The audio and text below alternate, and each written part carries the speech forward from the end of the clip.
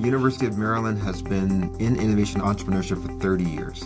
We focus on the hands-on experience. You don't really see it until you actually do it.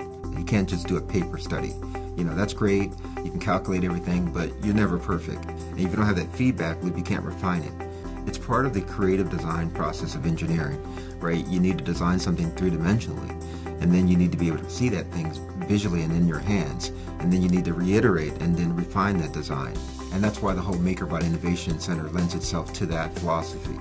So right now we're in a building called the Technology Advancement Program building.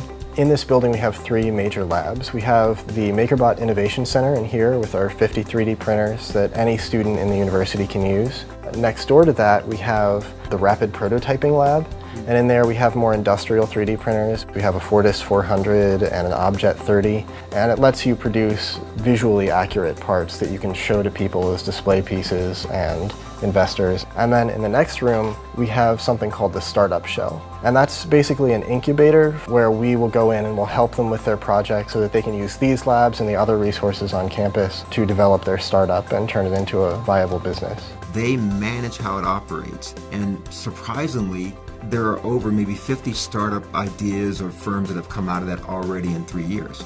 What we've been trying to do is build that ecosystem of making so that you can use it and execute it in a real system. A lot of the prototyping that I would do before this would be with wood.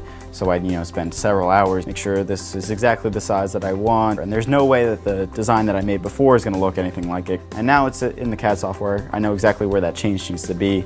I make that change, and now I have a new product. And it, it just allows me to fully test the full cycle of my design.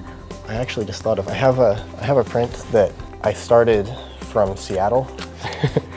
and then we came back and it was sitting here in a bag for me. And so just having the ability to do that is, is kind of incredible because we were on the other side of the country and we could start a print. Part of the mantra of University of Maryland is to have innovation and creativity come from anywhere and to have maybe a student from architecture or a student from English who has a great idea, realize their idea and maybe create a startup. It doesn't have to be an engineering student.